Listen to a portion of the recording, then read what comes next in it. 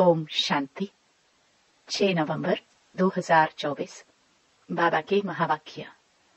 मीठे बच्चे, बाबा की दृष्टि हद और बेहद से भी पार जाती है। तुम्हें भी हद सतयुग, बेहद कलयुग से पार जाना है। प्रश्न। ऊंचते ऊंच ज्ञान रत्नों की धारणा किन बच्चों को अच्छी होती है? उत्तर। जिनका बुद्धि योग एक बाप के साथ है पवित्र बने हैं, उन्हें इन रत्नों की धारणा अच्छी होगी। इस ज्ञान के लिए शुद्ध बर्तन चाहिए। उल्टे सुलटे संकल्प भी बंद हो जाने चाहिए। बाप के साथ योग लगाते लगाते बर्तन सोना बने, तब रतन ठहर सके। ओम शांति। धारणा के लिए मुख्य सार। पहला, बुद्धि में ज्ञान रत्नों को धारण कर दान करना है।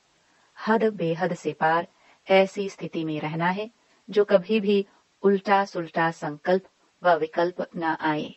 हम आत्मा भाई भाई हैं, यही स्मृति रहे। दूसरा, माया के तूफानों से बचने के लिए मुख में बाप की याद का मुलहरा डाल लेना है। सब कुछ सहन करना है छुई मुई नहीं बनना है। माया से हार नहीं खानी है। वरदान। सदा एक के स्नेह में समाये हुए, एक बाप को सहारा बनाने वाले सर्व आकर्षण मुक्त भव। जो बच्चे एक बाप के स्नेह में समाये हुए हैं, वे सर्व प्राप्तियों से संपन्न और संतुष्ट रहते हैं। उन्हें किसी भी प्रकार का सहारा आकर्षित नहीं कर सकता।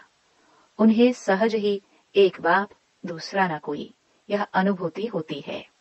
उनका एक बाप ही संसार है, एक बाप द्वारा ही सर्व संबंधों के रस का अनुभव होता है। उनके लिए सर्व प्राप्तियों का आधार एक बाप है, न कि वैभव व साधन। इसलिए वे सहज आकर्षण मुक्त हो जाते हैं। स्लोगन, प्रकृति को पावन बनाना है तो संपूर्ण लगाव मुक्त बनो। ओम शांति।